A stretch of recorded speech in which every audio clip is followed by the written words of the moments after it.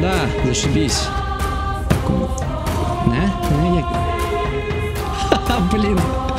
Денег не хватает.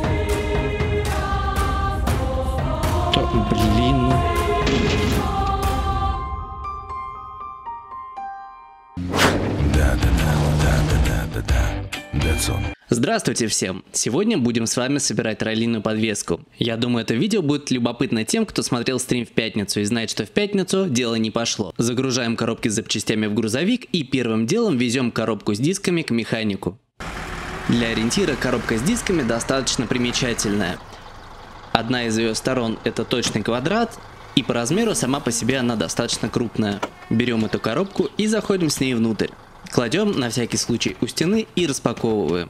Если механик позвонит и сообщит, что колеса готовы, а время уже окажется нерабочим, тогда мы можем просто дотянуться и вытащить эти колеса через стену. Для того, чтобы выбрать покрышки, с которыми нас допустят на ралли, нам необходимо крутануть каталог и выбрать шины европейска. Стоить это будет нам примерно в районе 2000. Окей, заказали, возвращаемся к грузовику и едем домой ставить амортизаторы.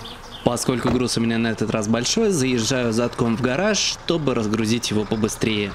Под этим видео есть ссылка на скачивание этого сохранения, и в нем вы найдете уже поставленные раллийные амортизаторы на машину, а также полный гараж запасных частей и 50 косарей наличными. Ну а до того, как мы приступим к разбору подвески, я нашел в игре один баг, о котором вам сейчас расскажу. На экране вы сейчас видите, как абсолютно целый, нетронутый после сохранения автомобиль потерял сцепление с двигателем, а также почему-то потерял управляемость. Я решил разобраться в чем дело и заглянул под капот. И что я там увидел? На приводных валах полностью откручены болты. До этого я действительно их разбирал, однако игру я не сохранял. Это же касается второго подобного бага, который я успел заметить. Дело в том, что когда ты снимаешь деталь, а потом заново ее устанавливаешь, оказывается, что деталь автоматически уже прикручена. Где подвох, не ясно. В этот же момент я обнаружил, что у меня никаким образом не закреплены рулевые тяги. Прикол. Как решить этот баг я вам не подскажу, однако если вы обнаружили какую-то неисправность, посмотрите туда, где вы ковырялись с машиной в последний раз. Возможно там что-то окажется не затянутым. Ну а теперь наконец-то переберем подвеску. Берем напольный домкрат, поднимаем, например, переднюю часть машины. На всякий случай можно дернуть ручник, чтобы машина не покатилась. Ключом на 13 откручиваем колеса. Аккуратно их берем и отставляем в сторону. Ключом на 12 отсоединяем тягу от поворотного кулака. А затем ключом на 9 с тыльной стороны амортизатора откручиваем 4 болта. После этого берем ключ на 10 и снимаем гайки с верхнего крепления амортизатора. После этого с креплениями амортизатора покончено и нужно вернуться опять вниз. Выкручиваем ступичный болт на 14 и снимаем рулевую тягу. Обратите внимание, что снять шрус будет нам мешать крыло автомобиля. Дело в том, что его коллизия перекрывает доступ к точке, где можно взять шрус.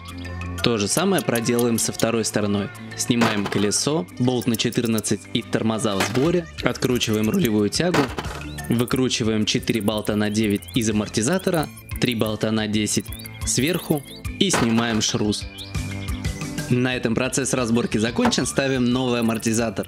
В обратном порядке закручиваем 3 гайки на 10, 4 болта на 9 и соединяем поворотный кулак с рулевой тягой.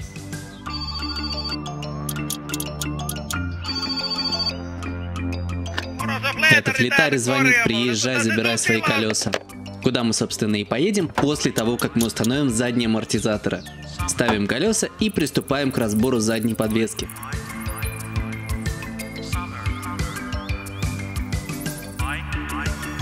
Снова откручиваем колесо и открываем багажник. В нем сразу выкрутим две гайки на 12, которые крепят верхушки амортизатора. Затем снимаем два болта на 6 снизу амортизатора и убираем его. А следом убираем и пружину. Все, что нам остается, поставить запчасти в обратной последовательности. Пружина, амортизатор, два болта на 6, одна гайка на 12. Проделываем это с двух сторон, ставим обратно колеса и готовы выезжать.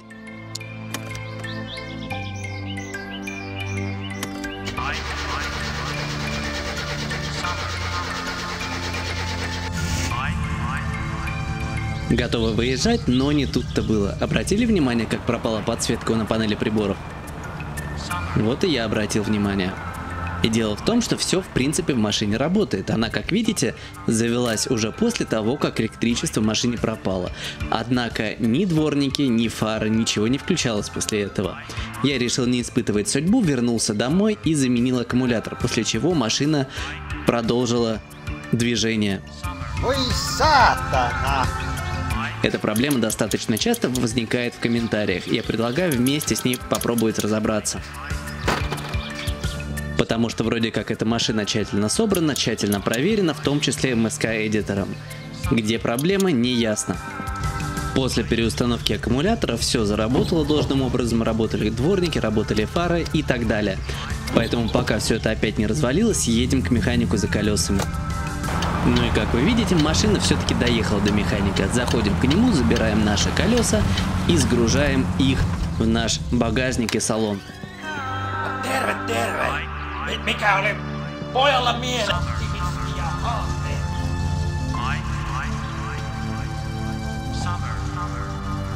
Резина успешно установлена, везем ее домой, обратно разгружаем, снова поднимаем на домкрат и меняем 4 колеса. На этот раз здесь ничего сложного.